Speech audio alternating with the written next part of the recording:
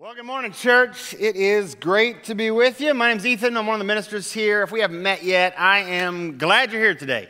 Uh, welcome. We've got a lot of college students, ETSU, Milligan, Northeast State, all over the place, rolling back in. Welcome back to our college students. If you're here uh, today, you're in the right place. Glad you're here with us. Uh, before I jump in uh, to the message today, I got a couple things I want to let you know about. Uh, first, I want to let you know about the next sermon series we have coming up in two weeks. Uh, it's called Weeds in My Garden, and we're going to be uh, bringing some biblical hope and some biblical, um, really gospel, some good news uh, in the area of mental health. Um, and, and, this sermon series, uh, uh, uh, really probably two years ago, I had friends of mine in ministry all over the country start texting me and like, hey, listen, man, have you watched this sermon series or have you done this sermon series? We just did it at my church. It was amazing. Uh, you should check this out. And um, honestly, I was already planned ahead and didn't really pay much attention to it, but more and more people, and so I finally did pay attention to it. Uh, and I really think it's going to be a great, great experience. Um, we're just going to be thinking about how there really is hope hope uh, in God and in Christ for all of us who are on a journey with mental health. So, you know, I am, and I've talked about that some, and a lot of us are. And um, so, it's going to be a great series. You may want to invite people to this series. That starts in two weeks. Uh, so, be, be paying attention to that. Uh, the other thing I, I want to do uh, before uh, we get going here, I need some help with. Uh, Mike, are you still around? Oh, yeah, here's Mike and Bowden. Uh, thank you, Mike. I need Mike's help here. All right, good. Yeah, welcome, Mike. Um, well, he's coming out. We got some pictures up on the screen there. Uh, you can check those out. I think we got some pictures here. Oh, that's good. Uh, that's good. Yeah. Oh, those are good pictures. Yeah. Um, and if you find yourself wondering, how long ago were those pictures taken? With hair. With hair, yes. Uh, the answer to how long ago those pictures were taken is 40 years. That's how long ago those were taken. And the reason that's significant, and we waited a couple weeks because I don't want people to be gone on vacation, but um, in 1st of August, uh, Mike passed a milestone of 40 years of continuous, uninterrupted service to this church. That's amazing. Um, that is, uh, uh, that's incredible. Um, he outlasted Ralph Sins, Don Jeans, Mike Shannon, Tim Wallingford. I plan to be here a long time. I expect he'll outlast me. Um, he has done so much good work. Uh, he's led choirs, kids' choirs, adult choirs, led worship. Uh, he was working here while he was also working in the school system. Uh, just amazing contribution to our church. Now, of course, Mike leads our top two generation uh, ministry, which is amazing. They do such incredible events, and they usually invite the rest of us. We the, we're doing the jazz thing again this Christmas, aren't we? Yep. All right, we'll have Christmas jazz again and lots more. There'll be stuff before that. Um, and I really, we, have got a gift for you that I'll give you sometime. Um, but, I, but a lot of you, uh, I don't have with me today. You know, I, you know, whatever. It'd be a prop. You know, he'll get it third service. You know, um, but I, I will say a lot of you have been blessed by Mike's ministry. And I would say, if you're looking, uh, out, you know, when would be a good time to write a thank you note uh, to Mike and Bowden? I think 40 years would be a pretty good time, right? So um, if you if you want to take, don't forget, uh, this is an amazing milestone.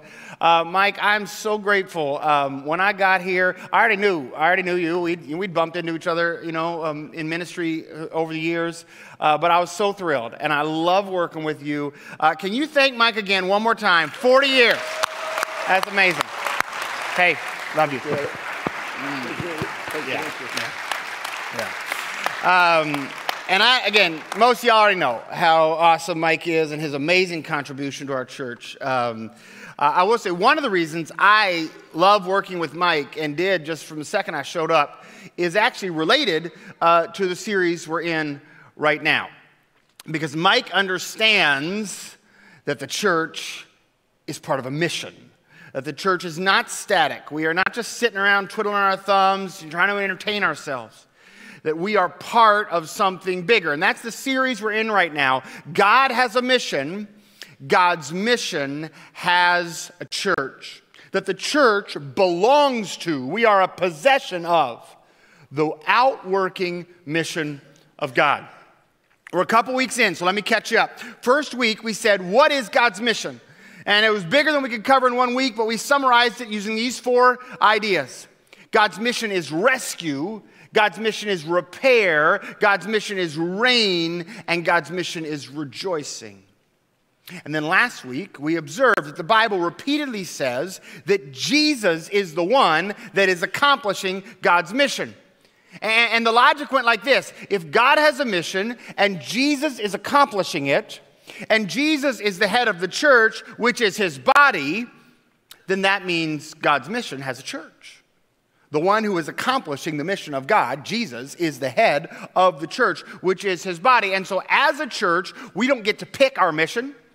We don't get to decide what our mission is going to be. We don't get to decide whether we want to have a mission or don't want to have a mission. Our mission as a church must be God's mission uh, rescue, repair, reign, rejoice. That's our mission. And, and today we're going to talk about one of the miracles of God's goodness, um, and that is this. As individuals, we not only are recipients of the mission of God. We are recipients of God's rescue. We are recipients of God's healing work. We are recipients of God's sovereignty. We also get to be participants in the mission of God. We get to be participants in the rescue, participants in the repair, the reign, the rejoicing. You get to be part of it. You have a role to play in the rescuing mission of God. You have a responsibility to the repairing work of God. You're you're a witness to the righteousness of God's reign. And you, if you let yourself, you could be right in the middle of the rejoicing Uh, the amazing thing about how God heals us and rescues us and repairs us, it's like if you, if you got rushed to the hospital one day. At the edge of death, you're, you're taken through the emergency room and they, and they do all the work. And by the time you leave, you're a nurse practitioner. It, it, it's not enough, you see, that God heals us and saves us. He then sends us out the door equipped to help others. It's like, yeah, your blood pressure's good, but, but you, you haven't learned enough CPR yet. We're not going to let you out the door until you know how to save somebody else. This is what our God does. So, the mission of God rescue, repair, reign, rejoice that's the church's mission, and that gets to be your mission. And so, for the next two weeks, we're going to talk about it. We're going to turn these into questions. Uh, today's questions are pretty simple. What is your role in the rescue? If God's mission now becomes our mission, what is your role in the rescue? And what is your responsibility in the repair? Uh, to help you picture that first question, uh, think with me a bit about lifeguards at the beach. I don't know if we all go to the beach, but I bet a bunch of us have been to the beach and you've, you've seen the lifeguards up in their little stands, you know, watching people. I was a lifeguard uh, for a while, uh, probably eight years, worked as a lifeguard. I was a mediocre swimmer in high school and college, and that's what mediocre swimmers do in the summer is we become lifeguards. Good swimmers are obviously busy swimming, but mediocre swimmers, we, we work as lifeguards. And so that's what I did uh, throughout high school and, and college. And, and, and honestly, being a pool lifeguard is a pretty boring job. Mostly what you do is you test the chlorine levels and you yell at little kids for running uh, on the side of the pool. And you, you, can work a long time as a pool lifeguard and never pull anybody out of the water or do anything like that, you know, bandage a few scraped knees. Uh, in fact, eight years as a lifeguard, I only actually pulled two people out of the water. And both times I was not on duty as a lifeguard. I was actually at Laurel Fork Falls both times, and some fool went in the water swimming in jeans and got caught in the current and sucked under, and I had to pull him out. Those are the only two rescues in my whole lifeguarding uh, career. But that's very different than beach lifeguards. You know, that's a whole different animal, you know. I never was a beach lifeguard, but I remember as a little kid, we'd go to the beach every summer for about 15 straight years. I thought the lifeguards were the coolest people on the planet, right? And the rule was when I was in elementary school that my brother and I, we could only get into the water up to our ankles until the lifeguards got there right? And, and so we would get there every morning. We got down to the beach, crack of dawn, watch the sunrise, and then we would anxiously await the arrivals of the lifeguards. And it was the worst, right? Because they would get there and you're like, oh, they're here. But first they got to go swim a little bit, and then they jog for a while. Then they got to drag that stand down to the edge of the water, and then they get at that little chalkboard, you know, where they write high tide, low tide. I didn't care when the tide was. I wanted to get in the water. You know, they go, they go put the flags, they put one about 100 feet one side of the stand, and they put another about 100 feet the other side of the stand, those flags out. And then finally they climb up there and they blow the whistle, and we would run out into the waves, me and my brother. In that image of a lifeguard at the beach, in the middle of that image is your role in the rescuing work of God. Right there in the middle of that image. Uh, now, to be clear, it's not the lifeguard, okay? That's not you.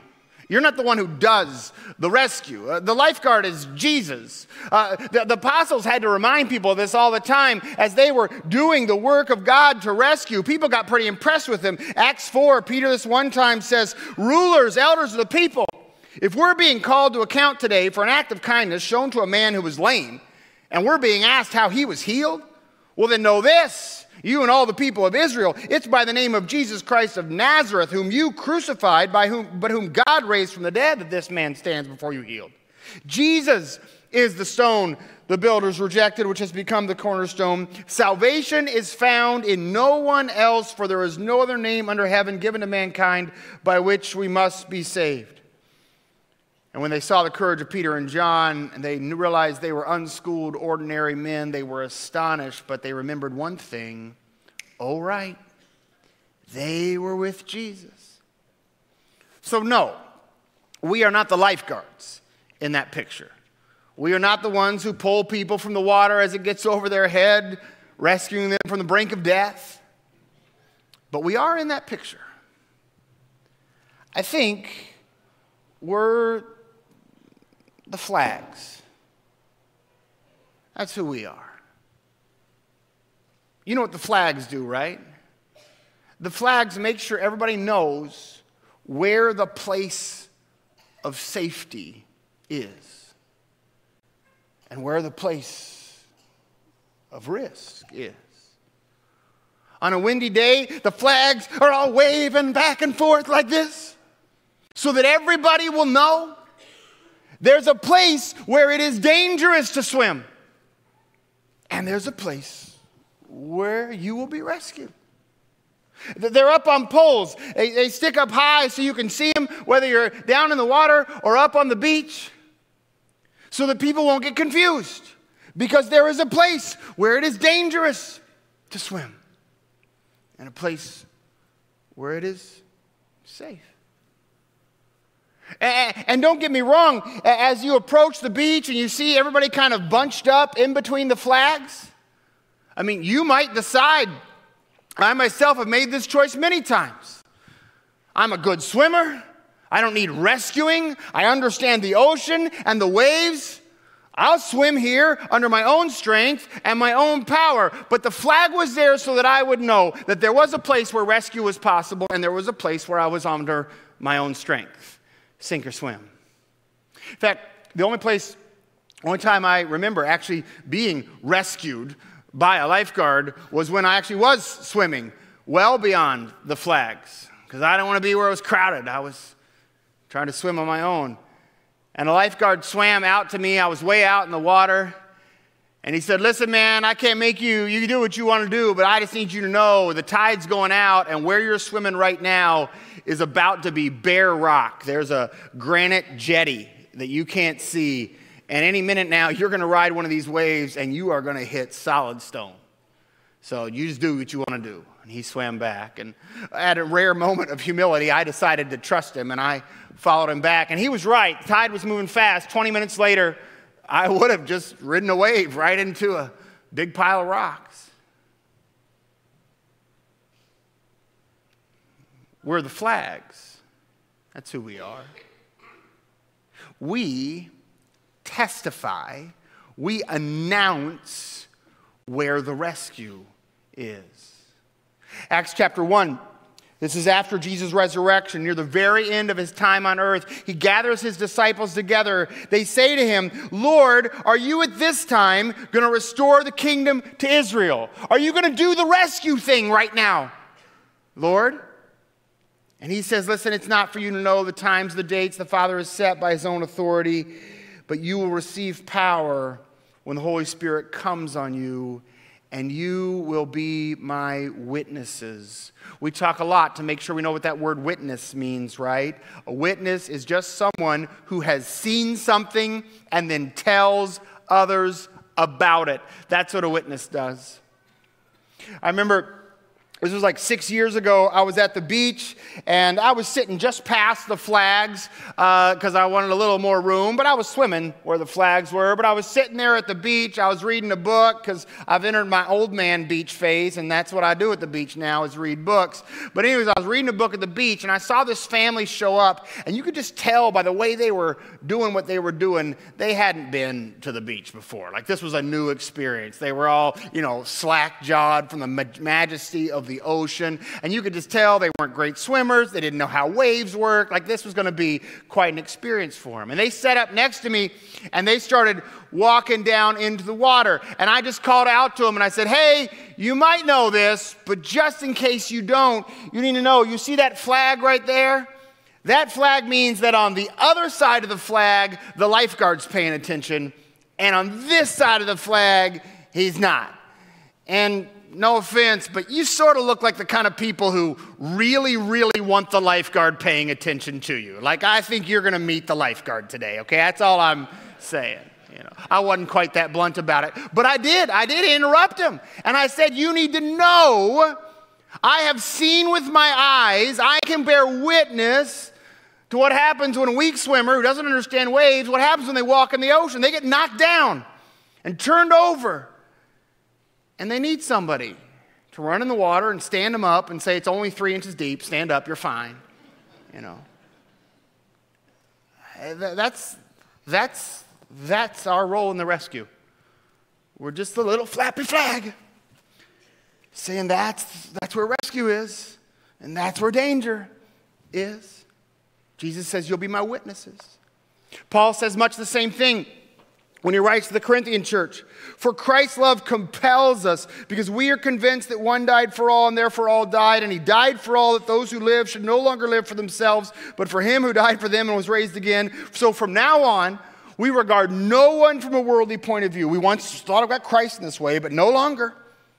For if anyone is Christ, the new creation has come. The old is gone and the new is here. And all this is from God who reconciled us to himself. That's this rescuing work of God. And how did God do it? Through Christ Jesus. We talked about this last week. And then gave us, look at that, just as soon as God rescues us, God gives us a role in the work of rescue. We walk in the hospital, an ER patient. We leave the hospital, an EMT. It's just boom, boom gave us the ministry of reconciliation, that God was reconciling the world to himself in Christ, not counting people's sins against him, and he has committed to us this message of reconciliation. We are therefore Christ's ambassadors, as though God were making his appeal through us. We implore you on Christ's behalf, be reconciled to God. God made him who had no sin to be sin for us, so that in him we might become the righteousness of God. Around here at FCC, we talk about who we are using these four things we call the DNA of FCC.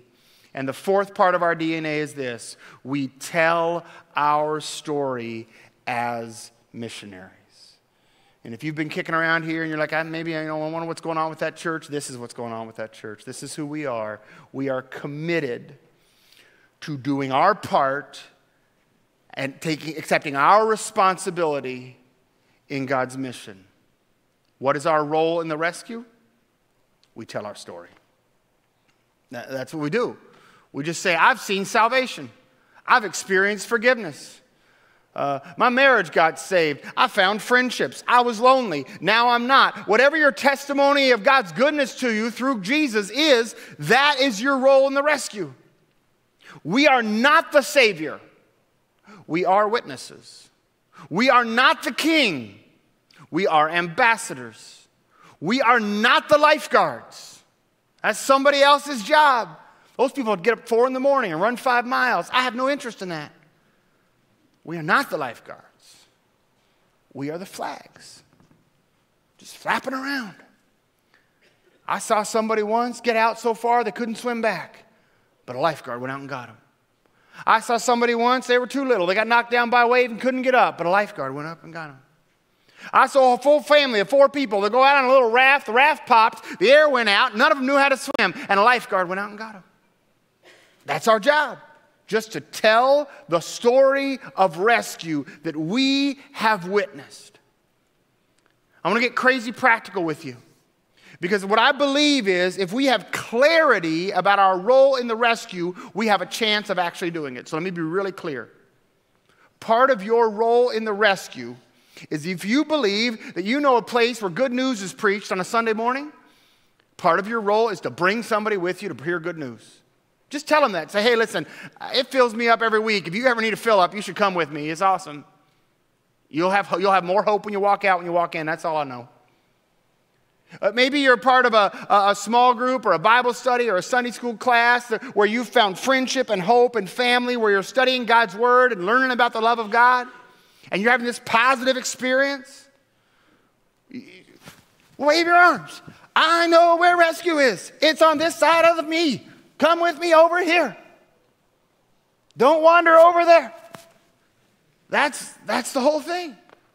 Don't try to be somebody's lifeguard. Jesus has got that covered. Try to be their flag that they can see from where they are so they'll know where the place of rescue is. You can, maybe, maybe it's this next series on mental health. Everybody, everybody you know would like their mental health to be stronger.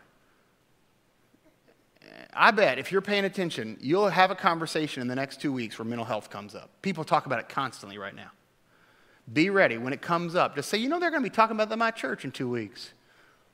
It might be lame. My preacher's hit or miss, but it could be awesome. You, you, should, you should come. It could be awesome. You should come check it out. That's, all, that's, that's your role in the rescue. All right, we had two questions. Number one, what's your role in the rescue? That's your role right here. You're just the flag. I know where the rescue is. Second question What is your responsibility in the repair. Now, of course, our initial observation still applies here.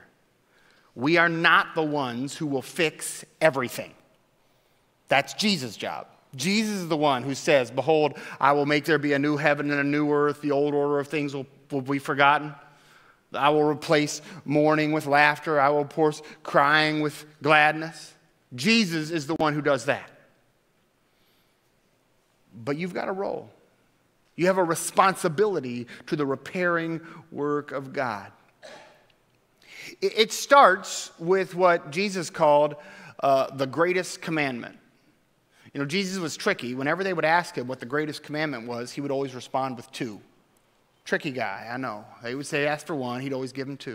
Every time. What's the greatest commandment? He would always say, love the Lord your God and love your neighbor as yourself. And, and then he would go on, he would, would not just talk about loving your neighbor, he would talk about loving your enemy, loving the stranger, loving the foreigner, loving the hungry. He even said you should love rich people. Who knew? He says you should love the one who persecutes you. You should love your family. Just for shorthand, it might be easier just to say love everyone. That's what my t shirt says love everyone. That's what Jesus says. People would ask him about that, this whole love your neighbor thing, because it does sound a little crazy, right? People would want to know who exactly is my neighbor? How exactly should I love them? He was getting quizzed this one time, and in response, he told a story. He said there was a man going from Jerusalem to Jericho, and along the way, he was attacked by robbers. They stripped him of his clothes and they beat him and they went away and they left him half dead. And a priest saw the man who happened to be going down the same road, and when he saw the man, he passed by on the other side. Uh, so, too, a Levite, when he came to the place, he saw the man and he passed by on the other side.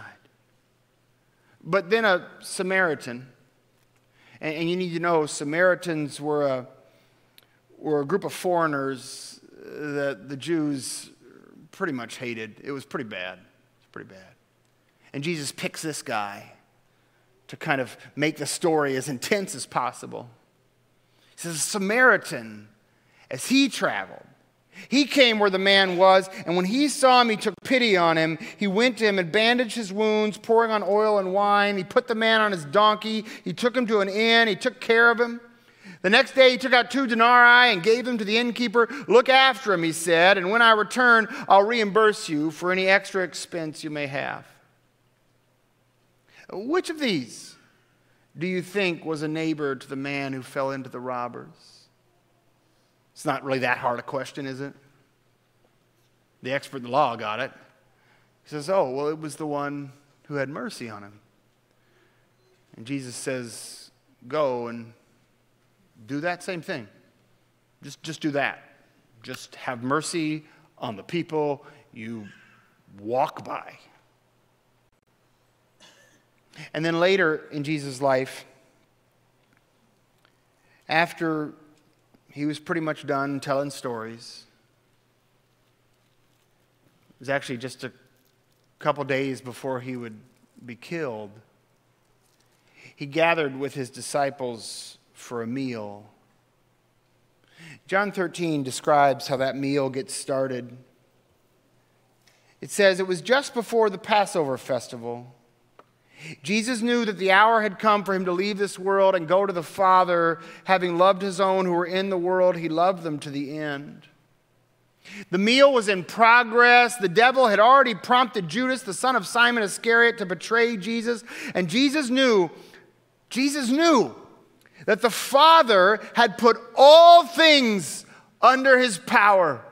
Imagine that moment of realization where you come to the realization that all things are under your power. You got to do something with all that power.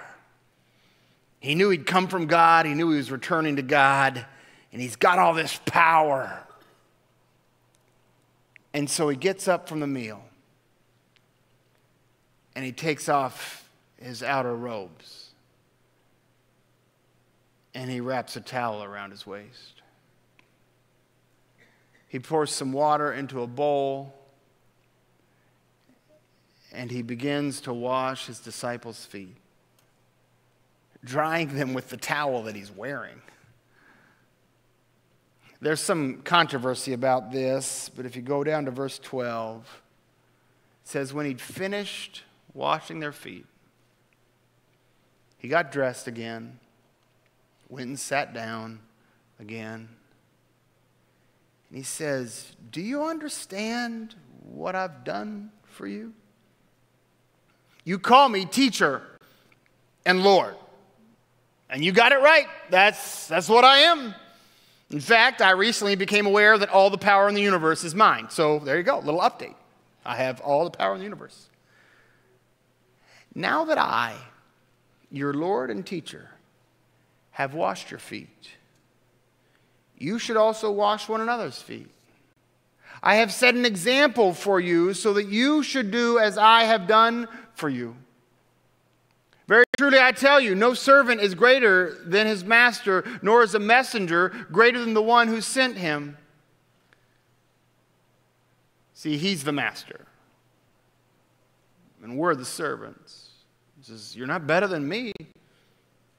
He's the king who sends us, and we're the messengers. He says, You're not better than me.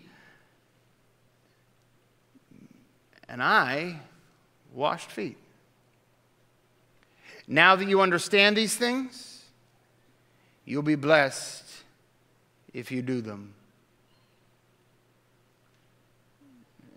I went looking for a symbol to help us understand our responsibility in the repair. And I don't know a better symbol than a basin and a towel. Jesus says, Now that I've done these things, you'll be blessed if you do them. What is our responsibility in the repair? It's to get off our donkey and help the person on the side of the road, to pick up a bowl and a towel and wash the feet of those around us. If you ever have a moment where you discover you have more power than you thought you did, Jesus had a moment like that. The Bible says he suddenly knew that he had all the power in the universe. If you ever have a moment where you discover, I have more power than I thought I did, this is why. This is what that power is for. Uh, I own a fancy pottery thing that's meant to be a basin and a, a, fancy linen towel to use as a prop. But that's actually not what these are. Um, this is a bowl I just grabbed out of one of our cabinets on the way out the door, and, and this I actually pulled out of the hamper. It's a slightly dirty uh, dishcloth. Um, please don't tell my wife um, uh, that I grabbed a dirty dishcloth out of our hamper. That's the basin and a towel aren't meant to be fancy images. It's stuff you everybody owns a bowl, you know, and you probably own a towel. You, you're welcome to use a clean one. That probably would be preferred, but. Uh, you know, we're, we're in the middle of this thing called Cannonball.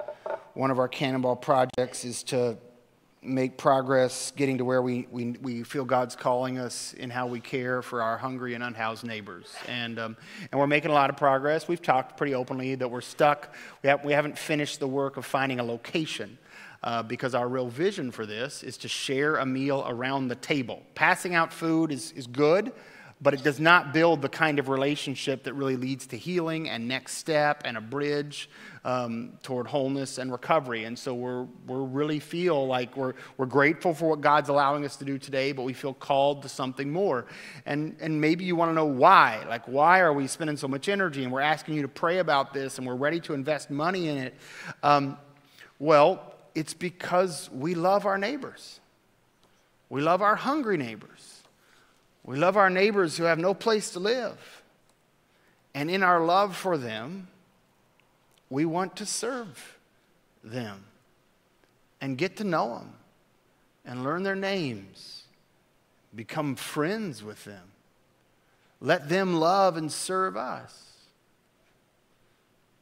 That's, that's why. This is the mission of the church. This is, this is who it's our little part in the repair.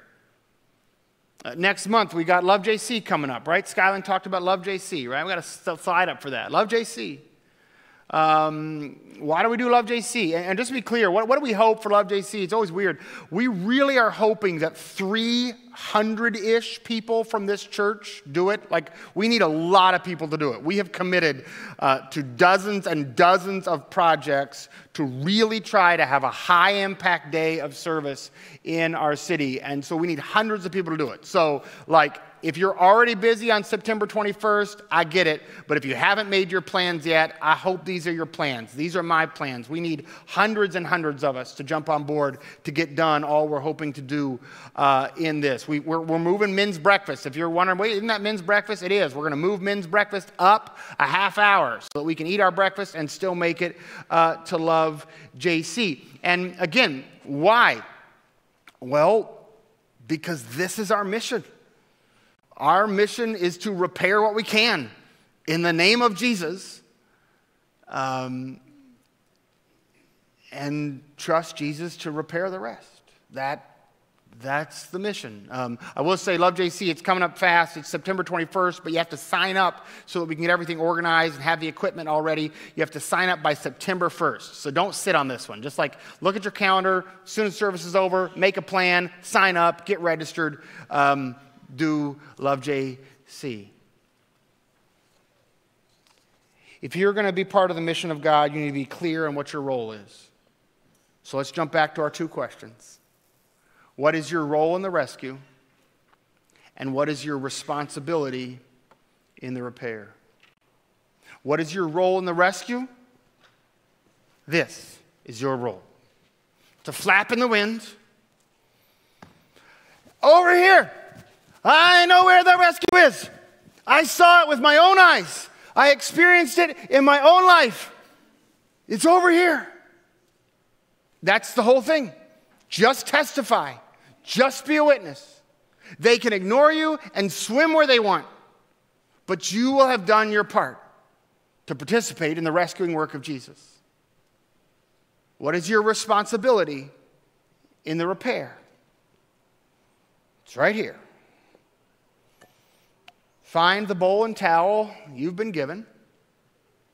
Recognize, like Jesus, the power you have. I know he had all the power in the universe. You have less power than that, but you've got more power than you think. What's the power you do have? And ask God, how could I do that to fix just a little corner? Maybe you've got a free Saturday. That's a place to start. That's a piece of power. I've got a free Saturday and an able body. Great. Use it for Jesus on September 21st. When you have clarity on your role and clarity on your responsibility, you understand that the mission of God is the mission of the church and is your mission as well. And you are lucky enough to not only be a recipient of God's mission, but a participant in it enabled by God's grace to bring rescue, repair, reign, and rejoicing into a world that so desperately needs it. Let me pray for you.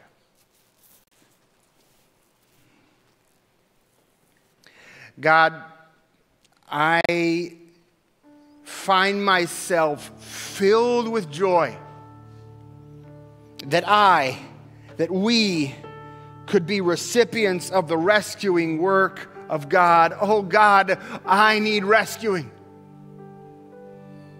God, we are so grateful that you are busy healing and repairing us. Oh God, we need to be repaired and healed and made whole.